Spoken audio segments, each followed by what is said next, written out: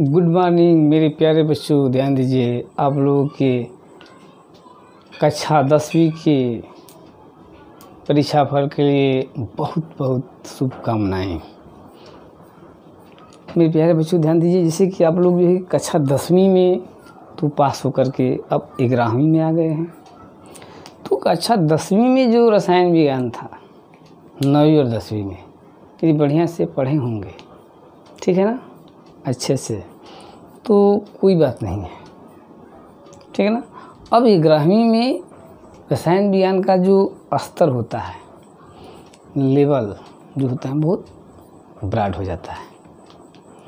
और आप लोग थोड़ी सी सिलेबस पढ़ करके आए हैं। छोटी छोटी चीज़ें सीरियसली नहीं बच्चे लेते हैं आप लोग बुरा मत मानिएगा। तो अब ग्यारहवीं में आने पर रसायन विज्ञान की दो दो किताबें हो जाती हैं मोटी मोटी ब्राड हो जाता है। और यही कंसेप्ट ही आप लोगों के जीवन में क्या आप बनना चाहते हैं डॉक्टर बनना चाहते हैं इंजीनियर बनना चाहते हैं, यही ग्रहवीं की भी साइंस की ही पढ़ाई आपका करियर का निर्माण करती है। अब बता दीजिए इसलिए हम बता रहे हैं आप लोगों को कि ग्रहवीं की पढ़ाई सीधे आप लोग आएँगे तो कुछ अब इस तरह से जो है कि साधारण तरीके से रटने पर कुछ नहीं होगा। ट्रिक से पढ़ना पड़ता है, ठीक है ना? और जो ट्रिक से नहीं पढ़ेगा, ये बहुत कॉम्प्लिकेटेड लगने लगेगा, ठीक है ना? इसीलिए हम बहुत अच्छा ट्रिक आप लोगों को बता रहे हैं, ठीक है ना? और उसी तरह से सीरियल वाइज आप लोग पढ़ेंगे तो रसायन विज्ञान में कुछ जो है कि कॉम्प्लिकेशन नहीं है। और यदि आप नहीं पढ़ते हैं इधर उधर करेंगे ठीक है ना? तो ये आप लोग के लिए बहुत ही कठिन हो जाएगा। ठीक? बस हम जैसे बता रहे हैं, उस तरह से आप लोग क्रम से चलिए। एकदम रसायन विज्ञान आप लोग हाथ में। और क्या डॉक्टर, क्या इंजीनियरिंग की पढ़ाई, आपको लिए बहुत ही सुलभ हो जाएगी। तो इसी क्रम में हम आप लोग आज बताएँगे, ये नाइन्थ में आप लोग पढ़े होंगे। ठीक ना? नहीं पढ़े होंगे तो यदि आप लोगों को माइंड नहीं करेंगे तो आप लोगों का मूड नहीं लगता लगता भी हो तो एक बार जो है कि मेरे चैनल को सब्सक्राइब कीजिए और नौवीं तथा दसवीं का रसायन विज्ञान। हम एकदम बेसिक लेवल से दिए हैं, उसको आप लोग देख लीजिए। इसमें भी जैसे जैसे आएगा, हम बताएँगे, फिर भी यदि आगे बढ़ना है तो पीछे की जो हमारा लेवल है, वो मज़बूत होना चाहिए।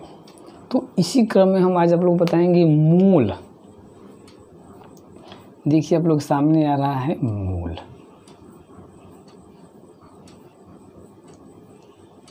ये बहुत ईजी चीज़ है बट यदि आप लोग ट्रिक से नहीं पढ़ेंगे तो बहुत हार्ड भी जाता मूल क्या है? जैसा कि मेरे प्यारे बच्चों, ध्यान दीजिए, जैसा कि हम लोग, हम कहेंगे आपसे कि एक दर्जन। तो एक दर्जन कहेंगे तो तुरंत आप लोग के माइंड में आ जाएगा बारह पीस आ जाएगा बताना नहीं पड़ेगा। यदि कहते हैं हम, आप लोगों को एक क्विंटल तो हंड्रेड के जी माइंड में आता है। उसी तरह से किसी भी पदार्थ की मात्रा को, ठीक है ना? वह पदार्थ वालू में दिया हो, आयतन में हो, भार में हो, या उसके आयन, मालिकूल अणु परमाणु के नंबर दिया हो तो उसको जो है कि हम मापते कैसे हैं भाई? तो यही मूल है। मूल के द्वारा हम करते तो किसी भी पदार्थ की उतना नंबर लीजिए। उतना नंबर लीजिए। उतना आयतन लीजिए। और उसका मालिकुलर वेट लीजिए। जिसमें एक मूल समाहित हो। कहने का मतलब यह है कि किसी भी पदार्थ की वह मात्रा उतनी मात्रा लीजिए, जिसमें कि उस पदार्थ के कितने? Six point zero two two into ten power twenty three कण। कण में क्या भाई? तो आयन। परमाणु। अणु। किसी भी पदार्थ के, किसी पदार्थ से परिभाषा लिखिए किसी पदार्थ की वह मात्रा जिसमें उस पदार्थ के इतने कण, अब कण जब कहा जाता है तो आयन, परमाणु या अणु, आता है उस मात्रा को मूल कहते हैं। क्या कहते हैं? वन मूल कहते हैं। क्या कहेंगे? वन मूल। अब परिभाषा आ गया आपके पास कि वन मूल क्या है भाई? तो किसी भी पदार्थ की वह मात्रा, जिसमें उस पदार्थ के इतने कण अवगाड्रो नंबर के बराबर, इतने कण मतलब कि इतने आयन, इतने परमाणु, इतने अणु उपस्थित रहता है, पदार्थ की उस मात्रा को एक मूल कहते हैं। ये तो संख्या रहेगा तो। बताएँगे कि इतनी संख्या को हम क्या कहेंगे? एक मूल कहेंगे। तो इसमें एक मूल में सोडियम कितने आयन सोडियम कितने? एक मूल में सोडियम कितने? परमाणु। अब मान लीजिए कि एच टू हो गया। तो एक मूल में जल के इतने क्या हो जाएँगे? अणु होंगे। बस समझ में आ रहा है? तो किसी पदार्थ की वह मात्रा जिसमें कि इतने कण हो, उस संख्या को, इतने कण वाले संख्या को हम क्या बोलेंगे? एक मूल कहेंगे। ठीक ना? और यदि इसी संख्या को हम, मैंने कि वन मूल को, इतनी संख्या में तो वन मूल, हम इतनी संख्या को यदि भार में व्यक्त करते हैं भार में। अब सामने जाए कि भी इतनी संख्या का भार कितना होगा, या इतनी संख्या का आयतन कितना होगा? आयतन। तो इतनी संख्या का तो मूल एक हो जाएगा। अब इतनी संख्या का भार कितना होगा भाई? तो अणु भार के बराबर। अणु भार। जैसे इतने अणु एच टू दिखा रहे हैं ना, इतने अणु एच टू का भार कितना होगा? तो एच टू का भार कितना हो जाएगा? अठारह ग्राम। ये इतने अणु है, ये मत कहिएगा कि अठारह ग्राम एक अणु का भार है। एक अणु का भार नहीं अठारह ग्राम है। इतने अणु मतलब कि एक मूल जल के अणु का भार, एक मूल जल के अणु का भार कितना? अठारह ग्राम। बात समझ में आ रहा है? एक मूल जल के अणु का कितना? अठारह ग्राम। मतलब कितने अणु हैं जल के? इतने अणु है, उसका भार है अठारह ग्राम। तब आपसे क्वेश्चन किया जाएगा कि एक अणु जल का भार ज्ञात कीजिए। पूछ देगा कि एक मोल जल के अणु का भार अठारह ग्राम है मतलब कि इतने अणु, एक मोल मतलब कितने अणु, इतने अणु। तो एक अणु जल का भार, ज्ञात कीजिए तो हम करेंगे। अब एक मूल जल का आयतन कितना होगा भाई? मतलब कि एक मोल मतलब कितना? इतने अणु जल का, कितने अणु? छः दशमलव ज़ीरो। इतने अणु जल का भार कितना? अठारह ग्राम। इतने अणु जल का आयतन कितना? तो एस टी पी या एन टी पी पर। कितना हो जाएगा? बाईस दशमलव चार लीटर या बाईस हज़ार चार सौ मिलीलीटर। अब एस टी पी आ गया। तो एस टी पी है, हम लिखते हैं, सा, ता, दा।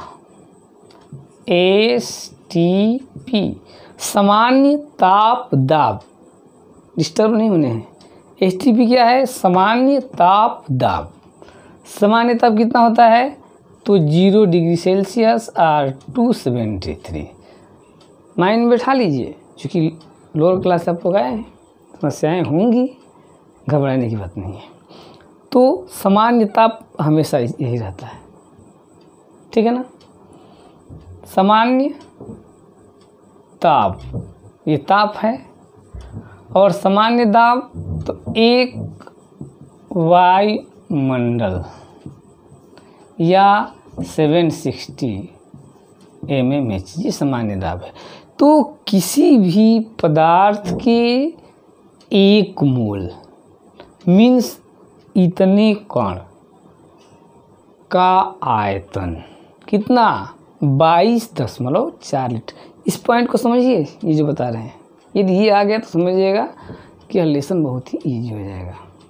तो मेरी बातों पर गौर कीजिए।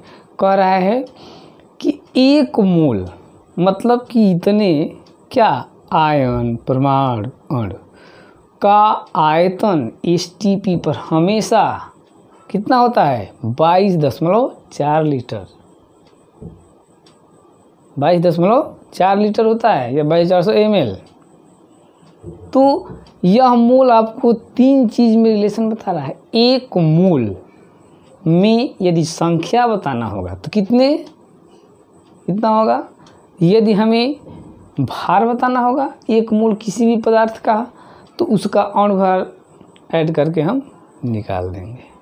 और एक मूल का आयतन बताना होगा तो एसटीपी पर या एनटीपी वही है नॉर्मल ताप दाब, वही होता है, यही है। तो बाईस दशमलव चार लीटर। अब देखिए मेरे प्यारे बच्चों ध्यान दीजिए तो माइंड में आप ये खाका बैठा लीजिए इसका फ़ोटो खींच लीजिए। एक मोल में नंबर ऑफ़ पार्टिकल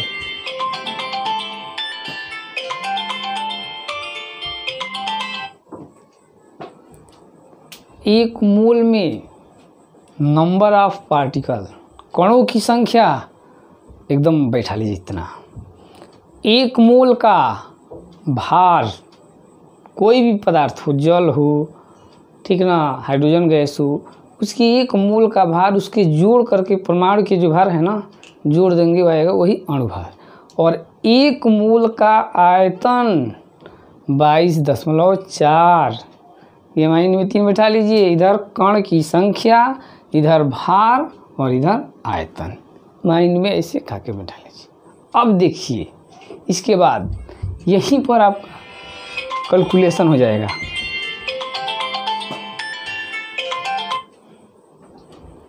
यहीं पर आपका गणना होगी। बस यहीं पर समझ जाएँगे तो गणना आ गया, मूल कंसेप्ट आ गया। अब क्वेश्चन करते कैसे है? बताएँगे, पहले थियोरिटिकली बता रहे हैं, इसका क्वेश्चन कैसे करते हैं हम बताएँगे। अब आपको कोई नंबर दे देगा। ठीक है? और मूल पूछ दिया। नंबर से पहली बात देखिए। नंबर दे देगा और मूल पूछ दिया। तो पहले आप आएँगे यहाँ पर, दिखेंगे। कुछ भी नंबर हो, मान लीजिए कि eight point six six ten पर पावर, ये कुछ भी दे दिया नंबर। और पूछेगा, कितने मूल होंगे? इतने नंबर परमाणु में, अणु में जल के इतने नंबर जल के अणु है, इतने संख्या में जल के, हाइड्रोजन के परमाणु है, इतने आयन हैं तो कितने मूल होंगे? क्वेश्चन तो वहाँ पर क्वेश्चन को छोड़ देंगे। अब देखेंगे, यहाँ पाएँगे कि इतने नंबर में, एक मोल में कितने नंबर होते हैं? तो हम लिखेंगे अब, चूँकि ऐकिक नियम से, कि इतने नंबर में एक मोल इसलिए दिया हुआ जो नंबर रहेगा, उस पर निकालेंगे आयतन दे दिया और मोल पूछता है, अब यहाँ पर मान लीजिए कि दो लीटर दे दिया, दो लीटर अमोनिया में कितने मोल? तो यहाँ लिखेंगे हम हम जानते हैं ऑलरेडी कि बाईस दशमलव चार लीटर अमोनिया में एक मोल। चूँकि एक ही नियम पड़े हैं, चूँकि बाईस दशमलव चार लीटर अमोनियम कितने मोल? एक मोल। इसलिए जो दिया हुआ आयतन होगा, दो लीटर, चार लीटर, पाँच लीटर उसमें निकालेंगे। तो नंबर दिया रहेगा कोई भी और मोल पूछेगा तो इस नंबर से हम बनाएँगे अपना। इतने नंबर में, एक मोल इसलिए दिए हुए नंबर में कितना मोल? आयतन दिया रहेगा तो पहले इस आयतन मोल इतने आयतन में इतना मोल, एक मोल इसलिए जो गिवन आयतन है उसमें। कभी कभी भार दे देता है। भार दे दिया और पूछेगा कितने मोल? तो भार दिया रहता है तो डायरेक्ट हम निकाल सकते हैं मोल एन इक्वल भार बटे अणु भार। या इसको नहीं करते हैं तो आते हैं पहले भाई, लिखेंगे कि पहले उस पदार्थ का भार दिया है ना, उसका पहले हम अणु भार निकालेंगे। जैसे जल ही का दे दिया कि छः ग्राम जल में कितने मोल? ध्यान सुनिए छः ग्राम जल में कितने मोल? तो लिखेंगे कि अठारह ग्राम जल में एक मोल चूँकि अठारह ग्राम जल में कितना मोल एक मोल इसलिए। कितने में? छः ग्राम में तो नंबर दिया रहेगा, मोल पूछेगा। तो पहले इस नंबर को मोल से बनाएँगे। आयतन दिया रहेगा, मोल पूछेगा तो पहले इस आयतन और मोल से बना लेंगे कितने हम? भार दिया रहेगा और पूछेगा। तो इस भार को लिखेंगे पहले एक मोल, तब उसमें हाँ अब देखिए, अब इंटरचेंज क्या होता है? कुछ है नहीं, देखिए, इसी स्केल पर चलता है। इसलिए गौर से सुनिए, इसको मेरे वीडियो, इस वीडियो को बार बार देखिएगा। नंबर दिया रहेगा और भार पूछेगा, और मोल नहीं पूछेगा। इसमें से इसको लेफ़्ट कर देगा। अब डायरेक्ट भार पूछेगा। अब दे दिया कि इतने नंबर जल के अणु है तो भार कितना होगा भाई? तो ये तो दिया रहेगा तो सीधे निकालेंगे कि इतने में एक मोल होता है एक मोल का भार अठारह ग्राम होता है। तो निकाल लेंगे। इसी से लिखेंगे कि चूँकि इतने मोल का भार अठारह ग्राम, अब इसमें इतने परमाणु का भार कितना है? अठारह ग्राम है। इसलिए जितने भी नंबर दिया रहेगा, उसको लिख देगा। मोल से मोल नहीं पूछ रहा है, नंबर दे दिया, भार पूछ रहा है। तो क्या लिखेंगे कि इतने नंबर का भार कितना? जो भी हो, अब जल रहेगा तो अठारह लिखेंगे, सोडियम क्लोराइड रहेगा तो उसका निकाल लेंगे अणुभार ठीक है? हाइड्रोक्लोरिक एसिड है तो उसका निकाल लेंगे अणुभार तो इतने नंबर में कितना भार जो दिया है अणुभार वो इसलिए जो नंबर दिया रहेगा, मान लीजिए कि दे चार परमाणु का भार। चार परमाणुओं का भार निकालिए, जल के चार परमाणुओं का भार निकालिए तो लिखेंगे कि चूँकि जल के इतने परमाणुओं का भार अठारह ग्राम, इसलिए चार परमाणुओं का भार। ठीक। नंबर देकर के भार पूछेगा। कभी कभी ऐसा करता है कि नंबर दिया रहता है और आयतन पूछ देता है। ठीक है ना? नंबर दिया रहेगा, क्या पूछेगा? ना मूल पूछेगा, ना भार पूछेगा। नंबर दिया रहेगा, आयतन पूछ देगा। तो फिर यहीं पर हम आएँगे। अब देखेंगे कि हमारी स्केल में भाई नंबर में और आयतन में क्या संबंध है। ठीक है ना? तो क्या करेंगे? यहीं पर लिखेंगे। मान लीजिए कि दस जल के अणु का आयतन पूछ दिया कि दस जल के अणुओं का आयतन बताइए। जल के दस अणुओं का आयतन बताइए तो पहले लिखेंगे हम कि जल के इतने अणुओं का आयतन बाईस दशमलव चार लीटर तो दस अणुओं का आयतन। गुणा करके निकालते हैं कि नहीं, पढ़े होंगे? नहीं पढ़े होंगे तो पढ़ लीजिएगा। तो नंबर दिया रहेगा तो भी भार निकल जाएगा। नंबर दिया रहेगा तो आयतन निकल जाएगा। लेकिन आएँगे यहीं पर। पहले इतने नंबर में इतना भार, इसलिए दिए हुए भार में। इतने नंबर में इतना आयतन, इसलिए दिए हुए आयतन में। ठीक ना? अब कभी कभी भार दे देता है। और नंबर पूछता है छः ग्राम दे दिया। पूछे, कितने अणु? तो लिखेंगे कि अठारह ग्राम में या सल्फ्यूरिक एसिड है तो उसका अणु निकालेंगे। इतने ग्राम में, इतने अणु इसलिए जो दिया है उसमें निकालेंगे। तो भार दिया रहेगा तो नंबर पूछ सकता है। भार दिया रहेगा तो आयतन पूछ सकता है। तो पहले अणुभार देख लेंगे हम अणुभार पहले अणुभार निकालेंगे, तब तो उस भार, दिए हुए भार को टच करेंगे। अणुभार निकालेंगे और लिखेंगे कि इतने भार में इतना आयतन, इसलिए दिए हुए भार में इतना आयतन। ठीक है? कभी कभी आयतन दे दिया रहता है। यही पूछेगा या तो अणुभार पूछेगा, नहीं तो कणों की संख्या पूछेगा, नहीं तो मूल पूछेगा। तो इसी स्केल पर आपको पूछेगा, ठीक ना? और इस स्केल को आप लोग तैयार कर लेंगे बढ़िया से, ठीक ना? तो ईजिली जो है कि कैलकुलेशन होगा, ठीक? पहले आप लोग इस स्केल को तैयार कीजिए, और इसी पर हम जो है कि आप लोग को न्यूमेरिकल बताएँगे अगले वीडियो में, ठीक ना? अब एक बार जो है कि नहीं आपको किया जा सकता है, क्योंकि कन्फ्यूज़न होगी। पहले ये जो रिलेशन बताए इसको बार बार आपको समझिए बढ़िया से। और कुछ फॉर्मूले कल हम देंगे आप लोगों को नेक्स्ट वीडियो में, और उसको जो है कि आप लोग मिस मत कीजिए। इसके लिए मेरे चैनल को सब्सक्राइब कर लीजिए। ठीक ना? शुरुआत की चीज़ें हैं। अभी मिस करेंगे तो फिर आगे आने वाले समय में कन्फ्यूज़न होगी।